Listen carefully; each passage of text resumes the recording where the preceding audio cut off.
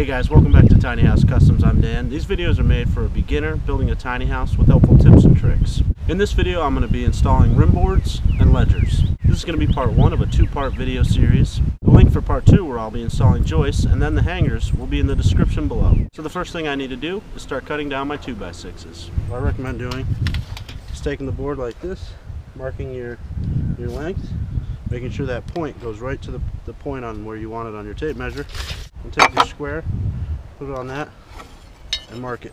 When you're cutting, you can hold the safety up, put the blade right on the mark, and there's also a, a reference point on the front here, which the line ups right will, will line up right here, and that's how you know the blade's in line.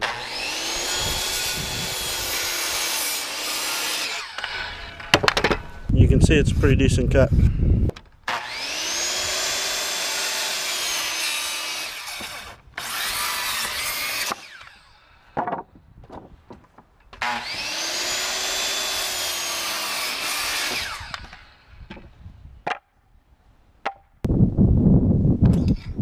That was a good one. Now that I have all my pieces cut, I can set up the table saw and rip them down to five and an eighth. Setting up your table saw so it doesn't move will end up saving you some time. So, just gonna tack it in here. When I'm ripping these boards, they're gonna end up hanging off here and they're gonna want to fall. I'm just gonna put a block over there. I'm just gonna measure from the frame to the top of my uh, table saw, which is 11 and an eighth ish. Uh, I'm gonna make it 10 and 15 sixteenths. I'm gonna mark 10 and 15 sixteenths on my board. Square that across. I'm gonna put that mark flush with the top of this. I'm gonna set the rip fence at 5 and an eighth and I'm gonna check it both the front of the blade and the back of the blade to make sure that it's running square. When you're ripping boards on a table saw, you don't want the blade to come past the material that you're cutting too much. Also, when I'm when I'm cutting, I'm looking at this point right here and this point right here and making sure that both points are making contact. I'm also making sure I'm watching the blade, see what it's doing. And I also have to look down and make sure that when I rip this, that this board is going to get on top of that. Once you've ripped a piece, you want to check it to make sure that you're actually cutting it the right size.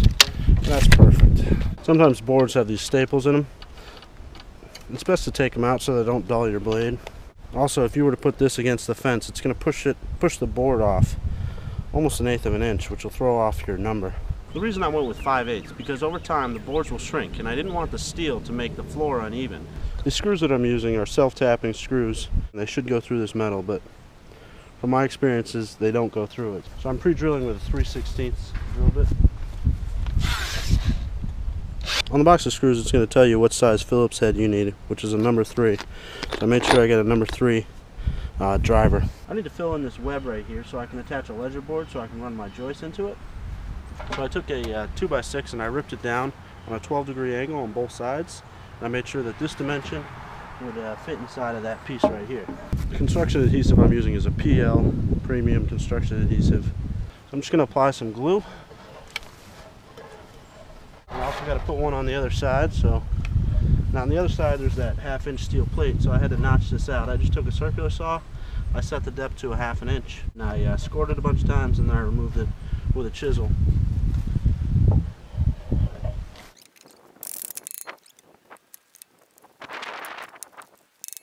Just do my layout again.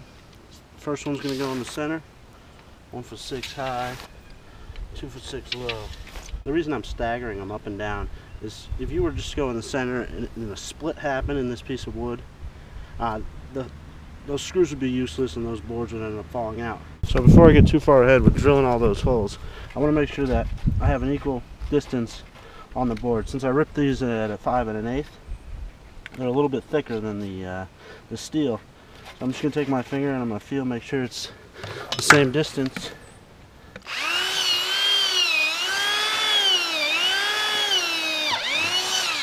And I just pre-drill. I just pre-drill the hole, and I'll install a screw.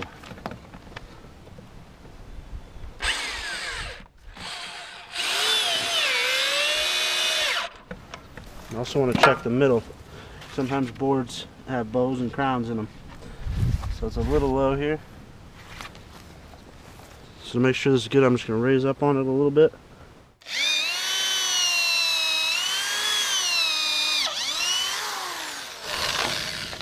My hole.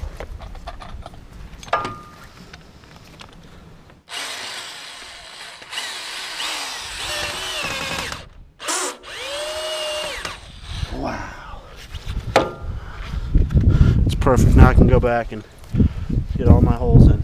If you want up-to-date posts of my build, check out my Twitter, Facebook, and Instagram page at Tiny House Customs. Now because I'm going real close to the end of the board, if I take the end of the nail and I just dull it over like that so it's blunt, it won't split the wood. Make sure I'm flush. So you can see here I got a board that's twisted. I'm going to fix that. I'm going to just do a toenail. And the toenail is just an angled nail.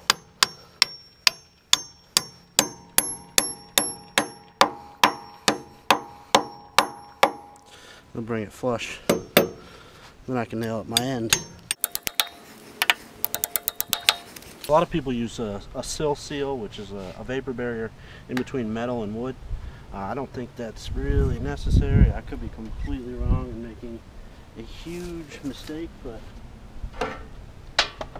for years people built houses and put the, the wood directly on the foundation and there was never any problem. So I'm going to go with that.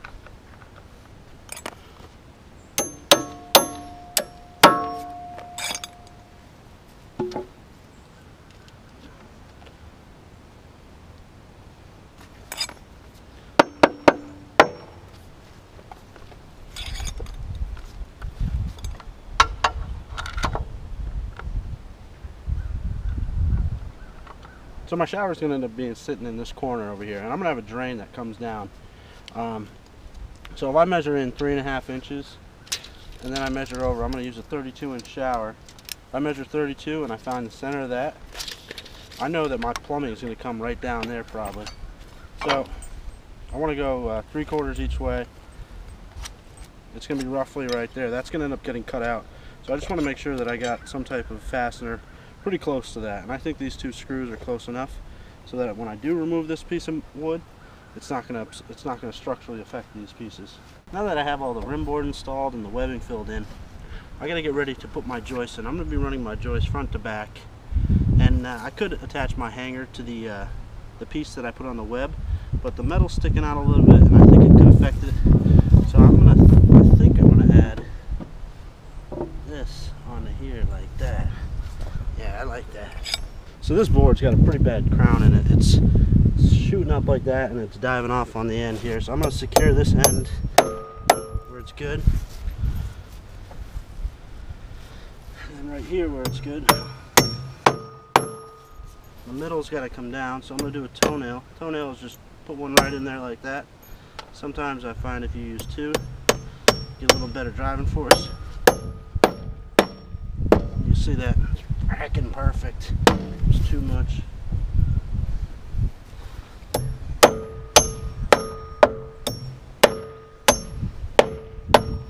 This end's got to come up just a little bit, so I'm just going to do the opposite with a toenail on the bottom.